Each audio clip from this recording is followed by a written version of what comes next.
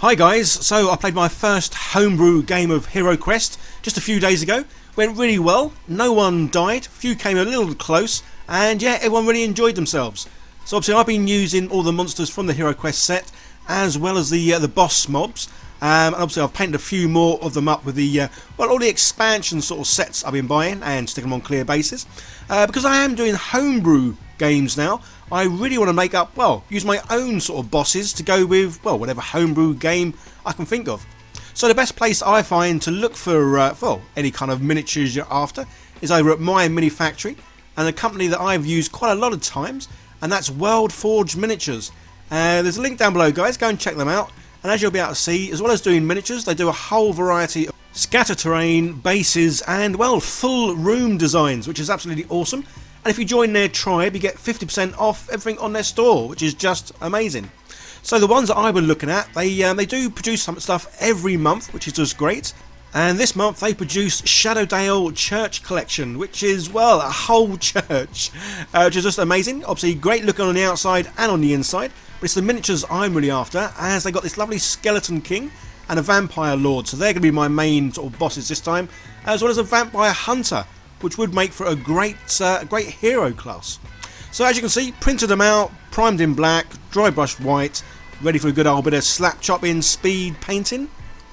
And as this is a king and a lord, I'm going to try and keep all the colours I use, well, kind of like regal colours. So yeah, definitely plenty of gold, silver, purples and blues. Anything that makes them look, well, like royalty, I guess. And this is kind of what I love about games like Hero Quest and Dungeons and Dragons. Um, yeah, doing homebrew, you really can put your own twist on everything and make things more suitable and fun for the kind of players you're playing against. As I say, so I'm playing hopefully regularly every month with some friends, um, but obviously I have played this, this game a couple times with my children. So that's the great thing, this game can be made more intense, more difficult, more harder, um, or can be played, well, exactly like a kind of a board game that it is, which is just great.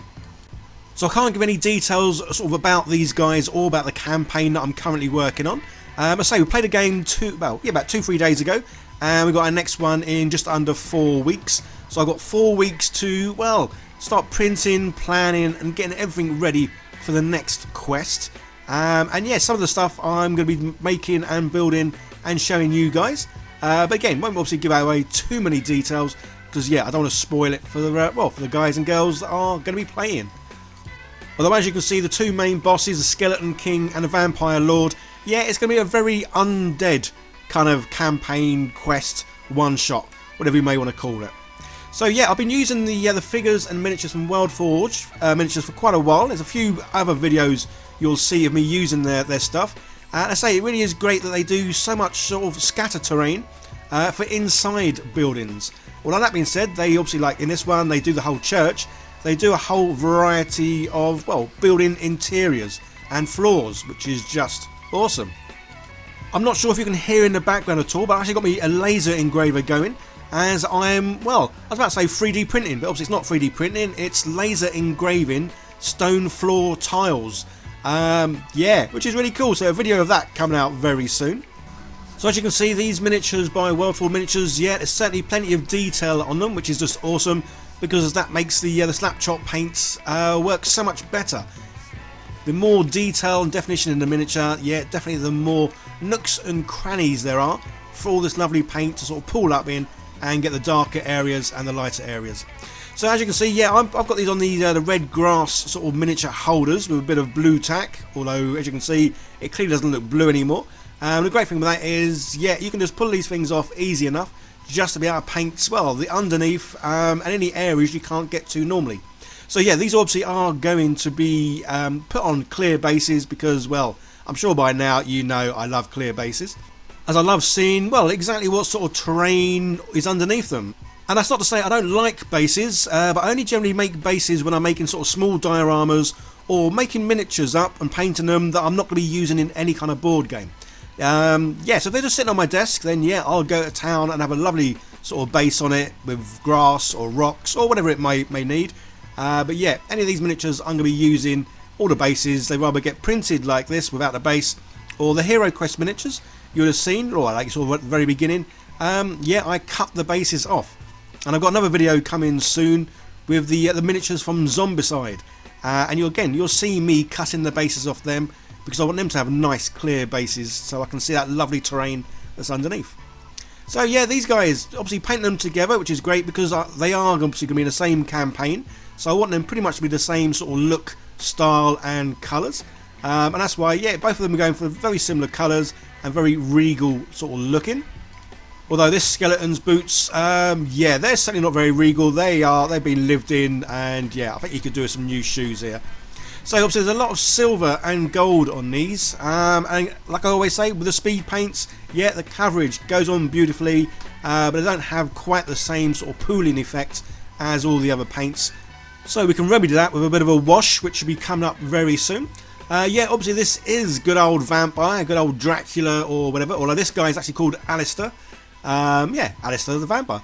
Uh, so yeah, good old uh, black hair with that little sort of pointy bit at the front, which is just going to be awesome. So say, yeah, this campaign, again, not going to give too much away, but yeah, clearly it is going to be an undead one, which I just love. So down in the dungeons or the crypts, yeah, this is definitely going to be a nice spooky feel to it. And I may need to get a uh, the fog machine out uh, and maybe play that or use that when I'm playing uh, playing the game, just for a bit of added atmosphere. So that's them nearly done. Just a bit of skin to do. Well, say skin. As you can see, the skeleton. Yeah, he doesn't really have any skin, so uh, not a lot to do with him. Uh, but a vampire, I don't want to use normal skin colour because, well, this dude doesn't get out in the sun, so he needs to have a very dark, pale looking skin. Um, so yeah, this skin seemed to be very appropriate for him. Well, he has got a nice little six pack going on here. So yeah, he definitely gets down the gym, maybe his own little gym, for a good old workout. Anyway guys, I hope you're enjoying the videos. Don't forget, if you are new here and you like what I do, hit that subscribe button, turn on the bell, and share, like, leave comments, all that great stuff. And it does help promote my videos to other people who may want to watch them, enjoy them, and, well, rinse and repeat, share, like, subscribe, all that great stuff. Anyway, that's enough of a plug. Let's get back to the video. And I say, yeah, doing the uh, the wash. Um, any kind of wash will do, I guess, but I like to use a lighter brown wash. I have tried using like a black wash and always found it to be, well, it makes things look dirty rather than um, sort of like aged. So yeah, good old soft brown wash here. As always, yeah, I just chuck this stuff on, move it around. Um, and again, it's, it's doing it to your own preferred sort of taste. Um, although I am getting better now. If you watch my old videos, you will see I actually cake miniatures in washes. This is before I used speed paints. Um, whereas now, yeah, I'm, well, I like to think I'm a little bit better. Um, I put loads on, but then I do kind of like move it around, spread it about a bit, so it's, uh, yeah, not as thick and dark as, uh, well, when it first goes on. So, yeah, good old skeleton. Um, so he printed really, really well. Obviously, uh, got some small little bits here, the old legs and that. Everything's pre-supported from um, from uh, World Forge Miniatures. You can get them unsupported, but obviously, yeah, I'm going to get everything pre-supported and everything just peels off a treat. So don't forget to check out the link down below, guys.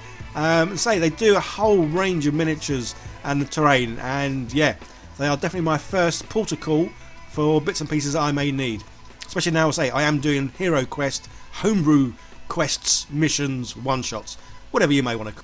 And that's them just about done. And yeah, put on some clear bases. So I get mine from Fluid 3D Workshop and these are 25mm bases 1mm thick so yeah nice and thin which means you really can see the uh, the bases underneath.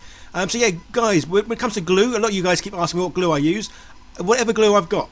Um, obviously if you do get the glue on the base it will make a mess of it. So yeah use it sparingly on the feet. Um, and then yeah you can't see the glue. But as you can see yeah so when these miniatures are standing on the terrain, yeah, you can hardly see the bases at all, which makes the figures look like they're, well, just standing up, which is just awesome. Anyway, guys, hope you like the video. There's another one on the screen. Give that a click, see more what I do. And I'd love it if you can share, subscribe, leave comments down below. Let me know what you thought of this video and what you may want to see me do in the future. Okay, guys, you all take care. I'll see you in the next one. Bye for now.